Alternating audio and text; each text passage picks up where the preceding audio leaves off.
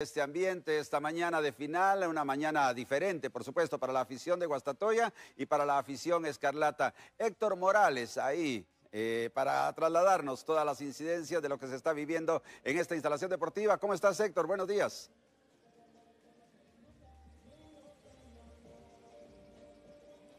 Qué gusto saludarte, Jorge. Amigos allá en el estudio, sí, pues el ambiente es interesante. Cientos de aficionados están en las afueras del estadio del Trébol. Y bueno, pues, ¿qué les puedo decir? Acá la música, la coordinación del personal. Acá no hay público a esta hora de la mañana.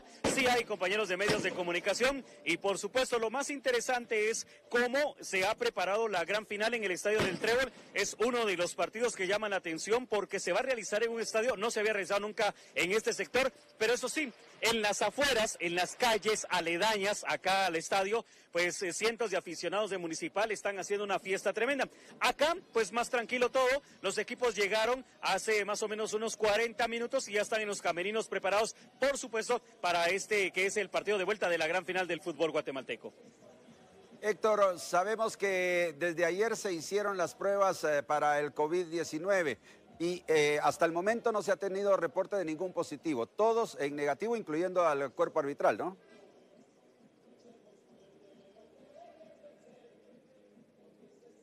Sí, así es. Eh, precisamente preguntábamos hoy en la mañana sobre esta situación, porque lo interesante también de ahora, de, este, de esta fase del fútbol guatemalteco, es las normas de bioseguridad.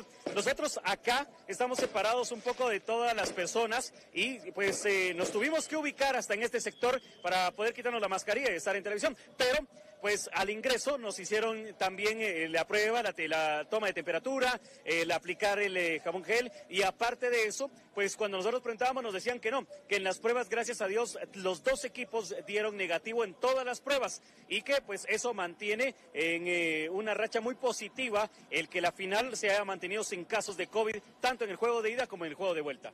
Héctor, vamos a volver con vos en unos minutitos nada más, ahí hasta el Manuel Felipe Carrera del Trébol. Gustavo Machado.